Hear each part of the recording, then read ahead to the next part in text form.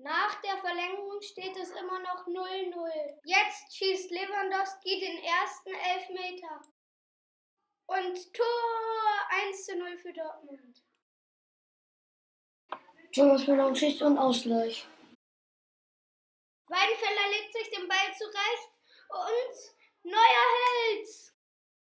Ribéry nimmt Anlauf und schießt und Tor! Bayern ist ist Pokalsieger.